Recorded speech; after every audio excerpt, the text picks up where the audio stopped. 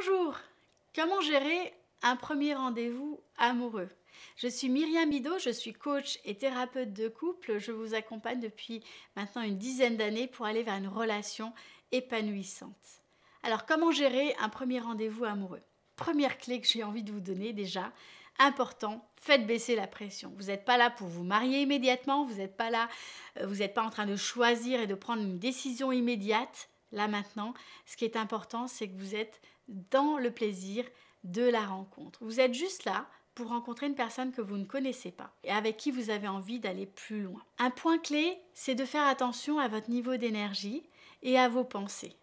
Donc, qu'est-ce qui se passe dans votre tête? Est-ce que vous avez des pensées négatives par rapport à ce rendez-vous ou par rapport à vous-même? Là, faites le tri, nettoyez tout ça, mettez-les de côté. De la même manière, regardez votre niveau d'énergie. Regardez comment vous êtes. Mettez-vous vraiment, sentez les choses, la terre sous vos pieds, redressez-vous, mettez un sourire sur votre visage et allez-y avec de l'envie, avec de l'enthousiasme. Reconnectez-vous à ça. Souvent, le fait, par exemple, de vous préparer en écoutant de la musique, euh, de prendre du temps pour vous, de prendre un bain, de lire quelque chose qui vous plaît, tout ça va vous mettre dans une énergie positive, dans une énergie d'ouverture et dans de l'enthousiasme et dans du plaisir de la rencontre. Lors d'un premier rendez-vous, ce qui est important, c'est justement la rencontre. Et la rencontre, c'est la rencontre de deux personnes différentes. Donc ce qui est important, c'est de pouvoir écouter l'autre, vous intéresser à l'autre. Une des clés, c'est de poser des questions.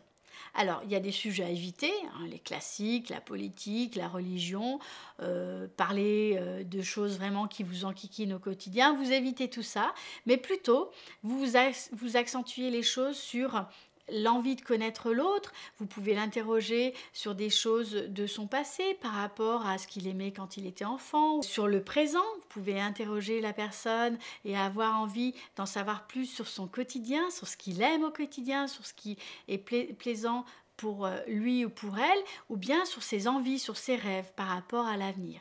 Des thèmes de prédilection, ça va être bien sûr bah, tout ce qui est sport, hobby, voyage, tout ce qui est culturel, euh, tout ce qui est également de l'ordre du travail ou des études, et puis tout ce qui est autour des rêves, des envies, de ce qu'on a envie de partager. Lors d'un premier rendez-vous, l'humour est un très très bon allié. Alors attention, hein, comme vous ne vous connaissez pas, à manier bien sûr avec parcimonie. Mais le fait d'être plutôt dans une certaine légèreté, dans une certaine ouverture, ça va énormément vous aider. C'est important de parler de vous, de parler de soi, mais tout en vous intéressant à l'autre, tout en vous intéressant à la personne que vous avez en face. Ensuite, vos meilleurs alliés pendant le rendez-vous, c'est de chercher à être le plus engagé, à être le plus présent présente possible au moment de la rencontre. C'est-à-dire de suspendre un petit peu tout ce qu'il y a dans votre tête, toutes les questions que vous pouvez vous poser, tous les, les, jugements, toutes les observations qui se passent comme ça en arrière-plan,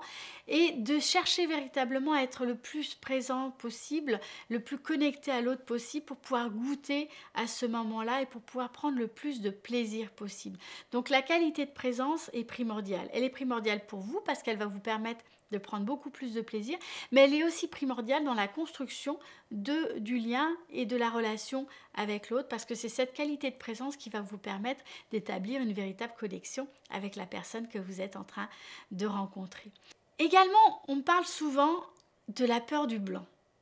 Et même en travail que je fais avec les personnes, souvent c'est vraiment une espèce de phobie de la peur du blanc. Et quand on rencontre quelqu'un qu'on ne connaît pas, on a peur du blanc. Et j'ai envie vraiment de vous rassurer. Déjà, les blancs, peu probable qu'il y en ait. En réalité, il y en a beaucoup moins que ce dont on a peur. Et puis, si jamais il y a des blancs entre vous, si jamais il y a de la gêne entre vous, c'est pas grave. Vous pouvez tout à fait être un peu gêné, être un peu dans le blanc, et puis dire que vous êtes gêné, dire que vous savez pas quoi dire.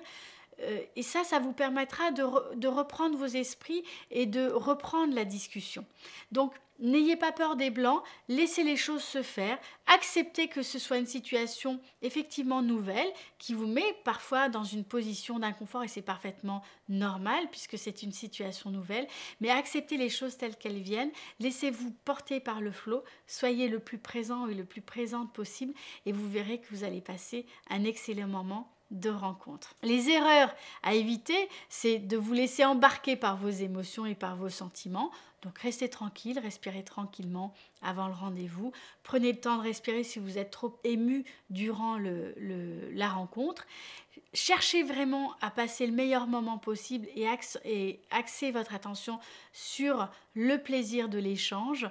Enlevez toute pression parce qu'en réalité, il n'y en a pas. Vous êtes sur un tout premier rendez-vous, donc c'est vraiment un tout premier pas que vous faites pour rencontrer l'autre.